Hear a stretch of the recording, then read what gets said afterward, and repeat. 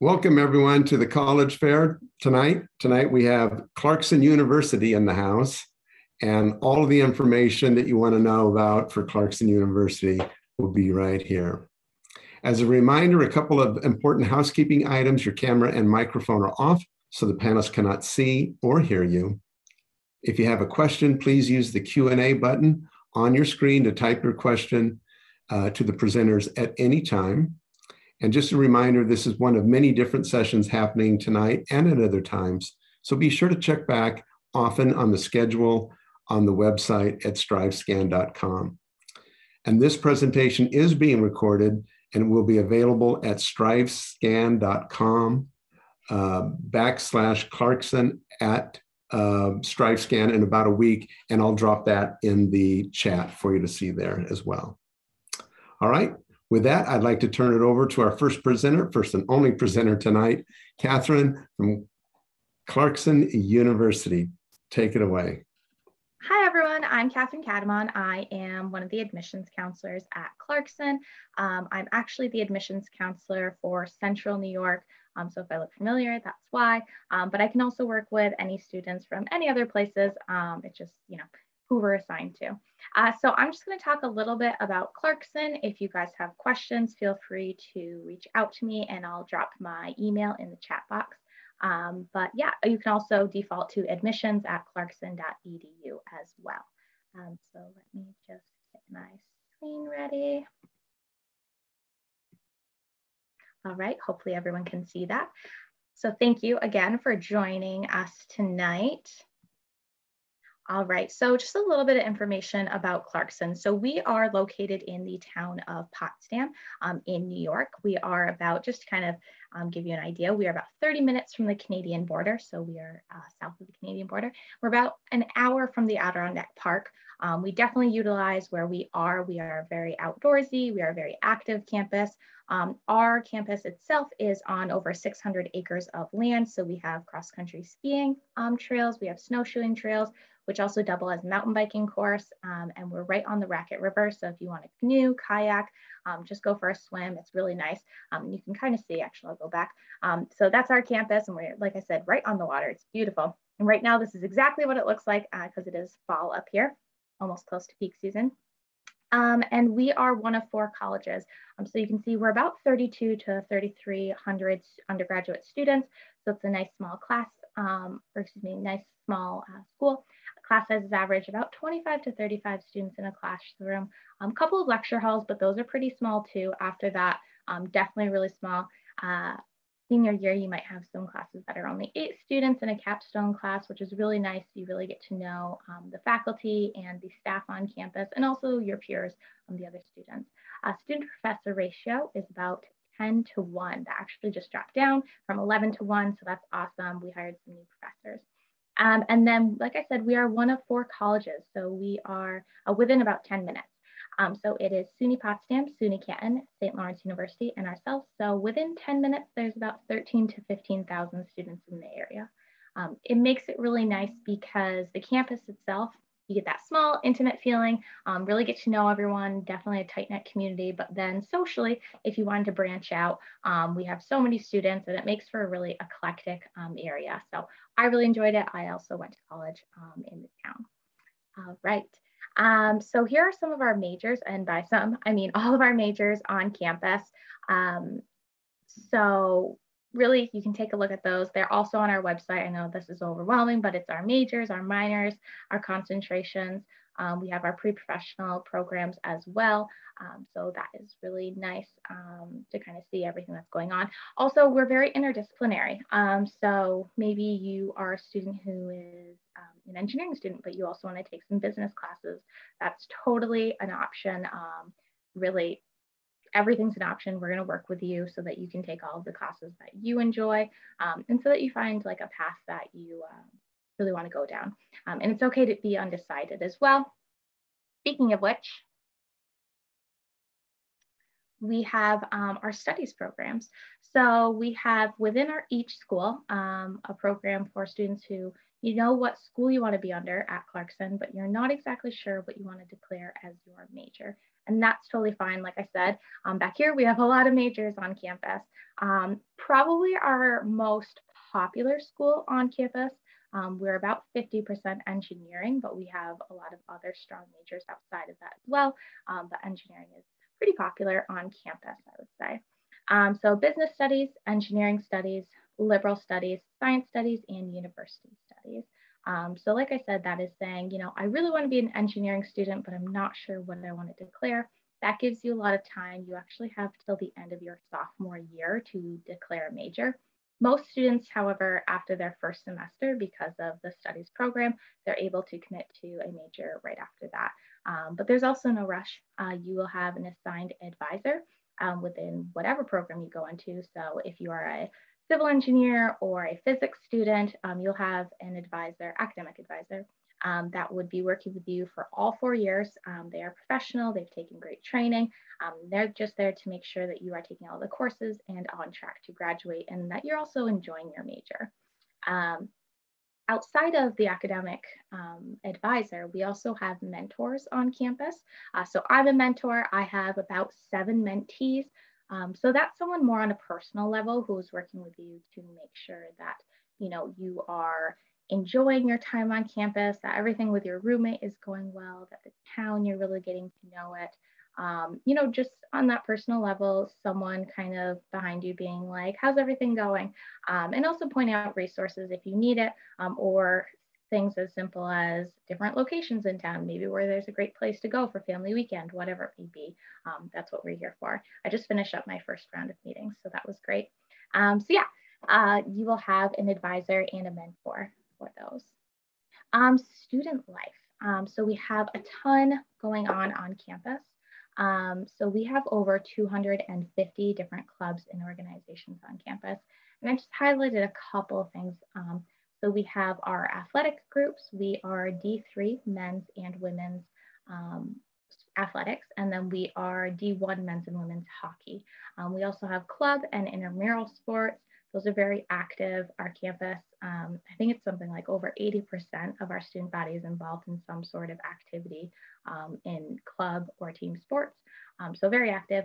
Like I, going back, um, as I said, we're on 600 plus acres of land. So there's a ton um, for students to do on our campus, but we're on the foot, excuse me, the foothills of the Adirondack Park. So if you enjoy hiking and biking and climbing and canoeing and kayaking and camping, all that great stuff, um, there's a ton going on um, just in our backyard.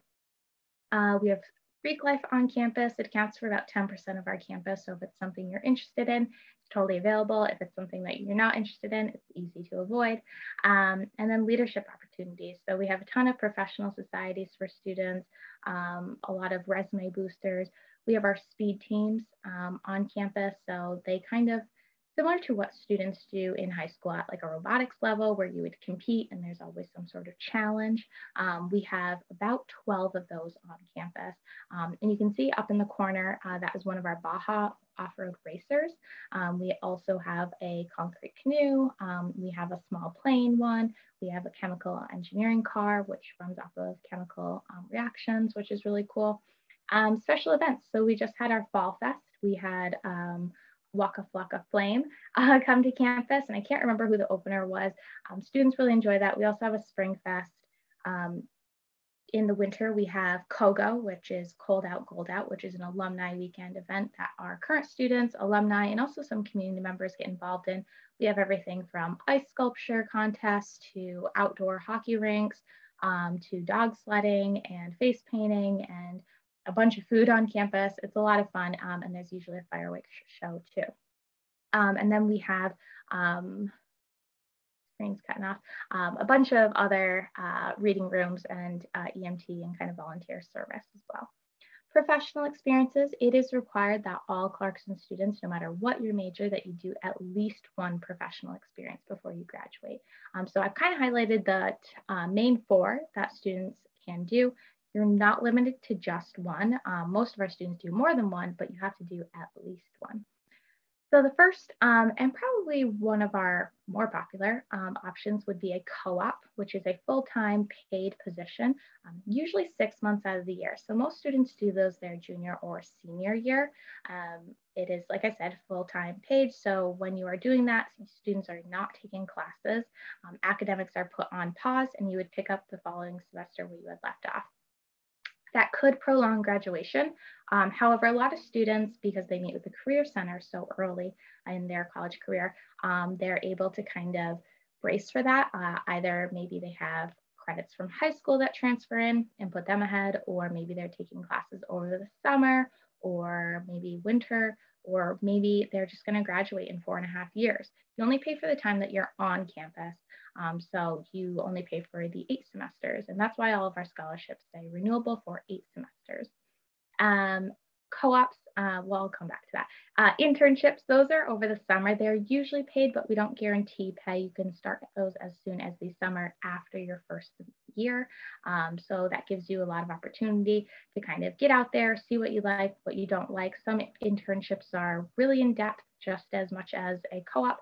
Other ones are a little bit more shadow-like, um, just to see what's out there and kind of uh, dip your feet into that. Um, for co-ops and internships, our Career Center is great. Um, they will sit down with first year students in their first semester and kind of map out what the rest of your um, four years are going to look like at Clarkson.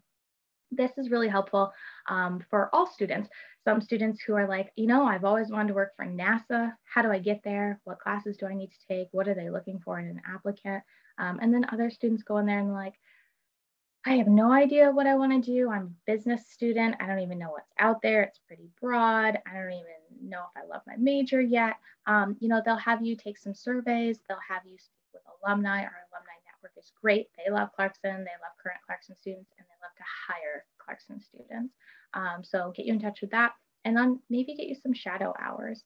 Um, I do like to highlight for the co-ops and internships. A lot of students don't do them local to our campus. I know a lot of students as they're driving up. They're like, so where would I go? Um, we are in a rural area. So um, the opportunities, there are opportunities, but we do like to uh, kind of get students a little bit of everywhere for those.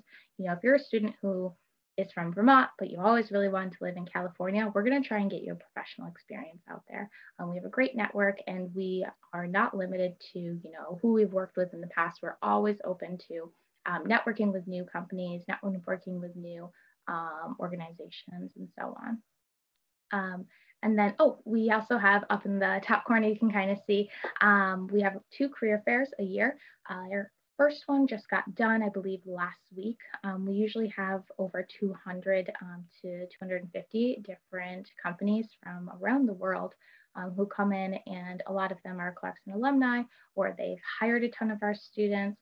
Um, and it's a great opportunity to not only, you know, get an internship or co-op, or if you're a senior getting a, job, um, but also just getting used to networking on that professional level, walking around with your resume, um, maybe looking a little bit more professional than usual. Uh, it's just a great opportunity to get out there. Um, and used to it. So if your first time going to one, it's a little bit nerve wracking, you don't talk to anyone, that's okay. It gets easier. And then we also have one in the spring too.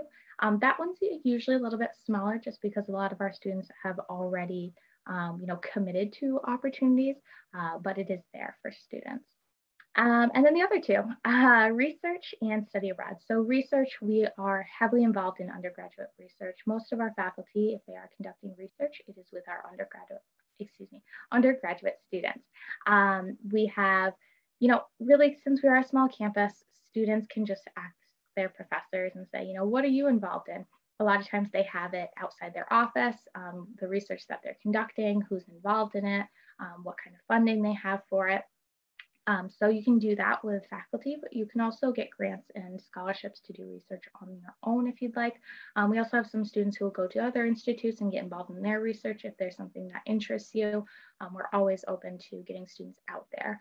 Um, and then study abroad. We have over 55 different programs in 28 plus countries. So um, in a typical year, the show is a little bit different, um, but in a typical year, students, we get them out there. Our international center is great. Some students go based off of their major to different locations. Other students, um, it's kind of broad with the majors.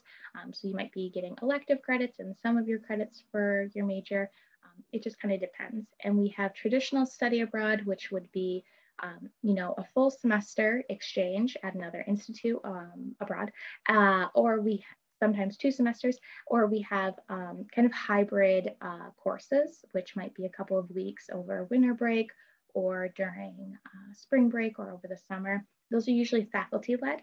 Um, and actually our business uh, students, they have to do some sort of abroad experience before they graduate in order to uh, graduate and walk, um, which they love that. Um, we definitely put a heavy emphasis on international um, business, um, global supply chain uh, within the business school.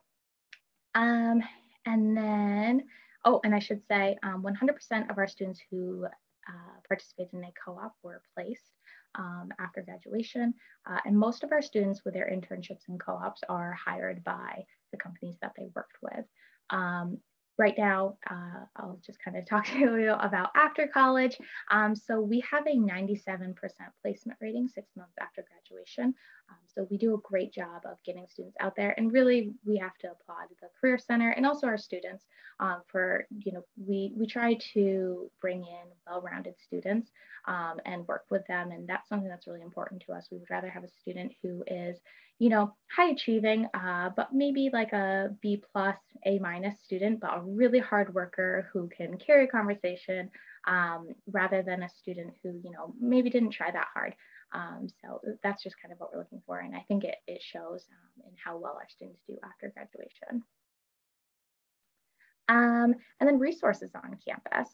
So we have a ton of great resources. A lot of colleges do. Um, you know, it's important that you go knocking on the doors of those resources though. Um, a lot of times they're not just gonna come to you. We're a small campus, we kind of can come to you and we kind of um, really encourage and uh, push you a little bit into utilizing those resources. So your first semester on campus, you will have your first year seminar. Um, within that, they're going to have a crash course in Welcome to Clarkson, um, transi transition habits and study habits and you know how to kind of make that step from high school into college and then out into uh, the real world. So that first semester, you'll take that one credit class. You'll take it with the students in your learning and living community. Um, and within that, um, you know, you're just taking, uh, like I said, the crash course. Um, but we have about 20 different learning and living communities that you can pick from. And it's just a cohort that you have some sort of common interest with, um, which is really nice. Um, but kind of going back to, that's first year, um, going back to the resource on campus, since we are small, we are able to really encourage you. And in that first year seminar, um, different speakers from the different resources on campus and different departments will come in and they'll kind of talk to you about what there is to offer, who's there working. Um, and it kind of gets in your face a little bit more. So that's like, come see us. Um, and it's not as intimidating. I think too, because we're a small campus and we're in Northern New York, um, it's a very friendly campus too. Uh, our students really enjoy the faculty. They really enjoy the staff. Um, so hopefully if you come visit, which I think is really important, um, you kind of get to see that. Uh, so Student Success Center and diversity and inclusion. So we definitely want students to feel like they are um, comfortable on campus, that they are part of the campus community and that they aren't an outsider. I think all students feel like an outsider, but um, obviously, you know, that's something we don't want students to feel like. So we, the Student Success Center, great. Um, they have the tutoring center. Uh, they'll work with students, you know, maybe you're struggling in a class. Um, well, we don't want you to get too far behind. So we have group tutoring. It's a, a little bit less intimidating than one-on-one tutoring, um, and it is free to our students. It is usually guided by um, a trained upperclassman, sometimes a grad student, um, which is great. Diversity and inclusion office, like I said, we want all students to feel included in our campus. We want them all to feel like Clarkson is their home and that they are here for a reason. Um, so any student can go into the lounge, um, the DNI lounge, and kind of talk um, and work with the counselors and also just meet new people. Um, that's something that's really huge when you go to any college, uh, whether it be Clarkson or not. Office of Accessibility. Um, so if you have any additional help in high school um, or you think that you need um, help or guidance a little bit more, they will meet with you.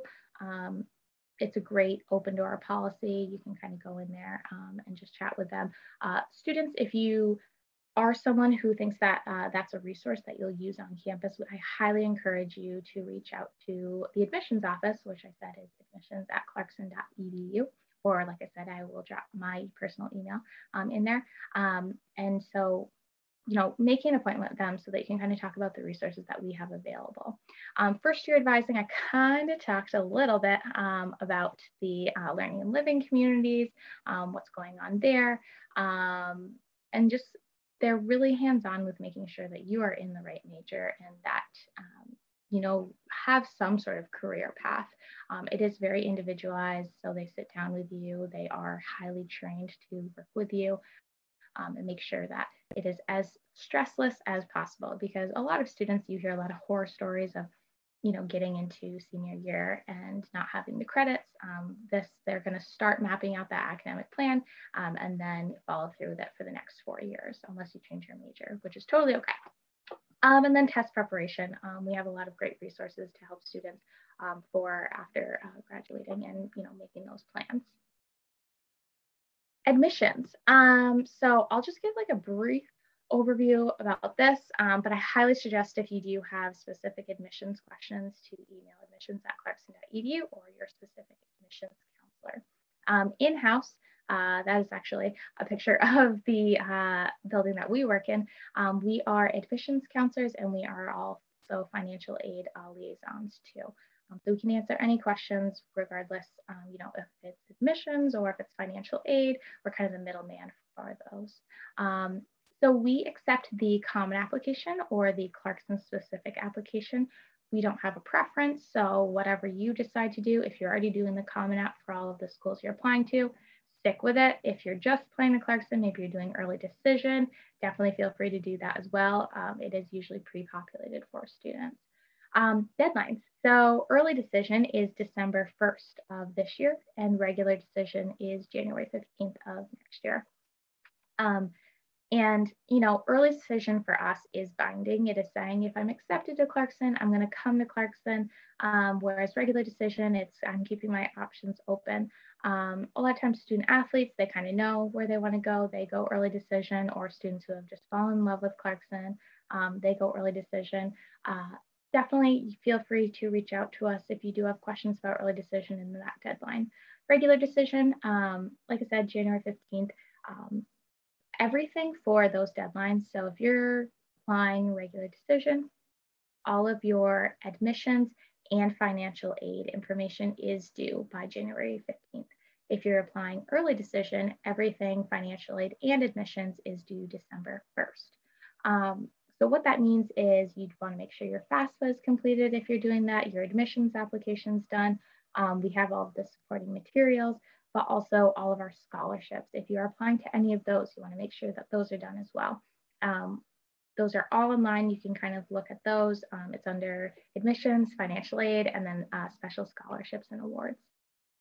So to apply to Clarkson, we need your official high school transcript sent by your high school. Um, so a lot of students send us their unofficial. We actually can't take that. So make sure that you are, you know, talking to your school counselor um, getting those things in. Uh, and then optional SAT or ACT scores. Feel free to send those in if you want to. Um, you know, we're treating it as if it's another rigorous course or, you know, something that just backs you as a student a little bit more, uh, maybe an extracurricular, uh, but it does not hurt you if you don't send those in. But feel free to if you want to. And also, if you're not sure if you should or shouldn't, um, just reach out to us. We'll give you an honest answer if it'll help you um, or not, but it definitely won't hurt you. And then at least two letters of recommendation. Um, we suggest from core teachers, um, someone who can speak to your academic ability and also your character. Anything additional could be from a coach, from an employer, from um, a family friend, maybe a teacher like a Spanish teacher, anything like that. Um, but we do like to see those two recommendations from the core teachers um, or actually a school counselor too. Um, those are always good. Uh, you're automatically considered for a lot of our merit-based scholarships. So like I said, some of the scholarships you do have to apply for separately. A lot of them um, are considered based off of your admissions application. Um, and then, like I said, we have those separate ones, uh, the special scholarships. 90% um, of our students receive some sort of um, financial aid or aid from Clarkson. Um, so that's always nice too. Um, we are optional for the FAFSA. So if you want to send that in, you can, but you don't have to. Um, and we can talk to you about that a little bit more. Um, but yeah, the application opens up October 1st, which I believe is Friday. Um, I suggest getting that done and over with as soon as possible. I know a lot of families struggle with it, um, but it's a lot easier to get it done so that if you do have questions or if there are errors, we can, you know, work through that and we can catch those early um, and, you know, work with you on that. Um, if you don't submit the FAFSA, um, that's totally fine. But as it says, um, you wouldn't be considered for any um, federal loans, whether it be student or parent, um, and it would you wouldn't be considered for any grants um, through Clarkson or through your state or whatever it may be.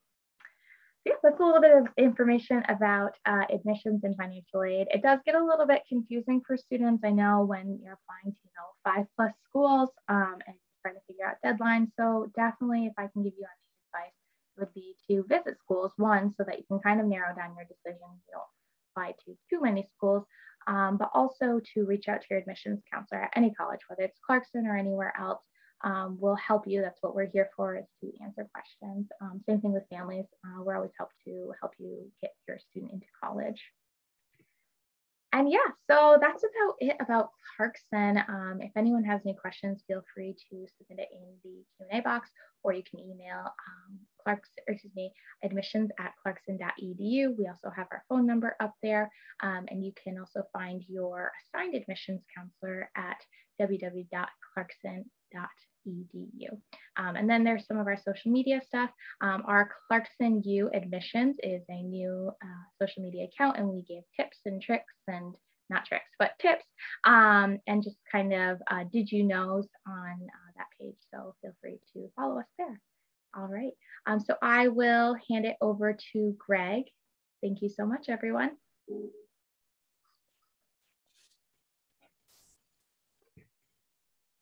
Thank you, Catherine. Thank you very much.